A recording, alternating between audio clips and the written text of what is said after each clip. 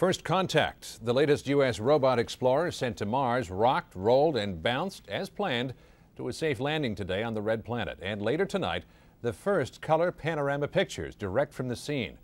It's the first U.S. mission to Mars in 21 years and the first since recent evidence suggesting primitive microscopic life may once have existed there and maybe still does. Manuel Gallegus has the latest chapter in The Martian Chronicles.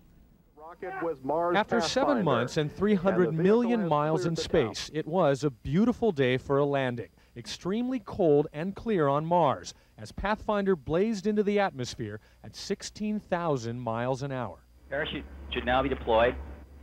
Oh, yeah. Then the hard part began in Pasadena Mission Control and in space. An explosive inflation of airbags designed to cushion Pathfinder's high risk, high speed landing bouncing it like a super ball up to 10 stories high. It survived. The signal is barely visible. It's a very good sign, everybody. And for the first time in 21 years, America is back on Mars. Gerald Soffen was NASA's project manager on that last Mars mission, Viking, in 1976. The nation ought to be proud. What a day to do it on, the 4th of July. Everything is just perfect. A picture perfect landing, and then more good news. We have confirmed, we've confirmed that the spacecraft is now completed petal deployment. Stay tuned for more excitement from Mars Pathfinder.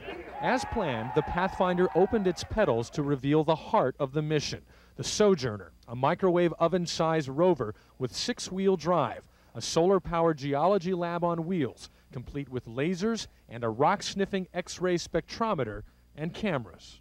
And four hours after landing, the Pathfinder officially called home. We are on the surface of Mars and we have received our first telemetry from the spacecraft.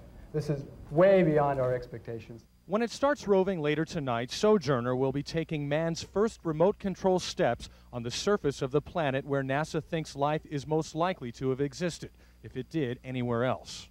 Mission controllers say the Sojourner could send data back to Earth for months, maybe even a year. NASA plans to send a fleet of these low-cost, unmanned explorers to Mars over the next decade. Manuel Gallegus, CBS News, Pasadena. A footnote, the original Viking mission to Mars a generation ago cost two to three billion dollars. Today's project came in at about 150 million dollars. Under NASA's new marching orders make it faster, better, cheaper.